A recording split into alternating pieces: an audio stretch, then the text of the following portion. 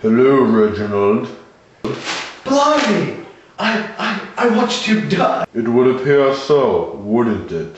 L- look, I don't want any trouble. I didn't want any either before you removed my plug from the socket. Okay, okay, what do you want from me? I want my life back! The one you stole from me. Calm down, calm down. There's no need to be emotional. How could you say that after you ruined me? We should still discuss this like gentlemen. We are past that, Reginald. Please, Toaster, don't do anything stupid. Reginald, you already tried to kill me once. Quid pro quo. I didn't want to have to do this, Toaster. Reginald, how could you? I feel so cold.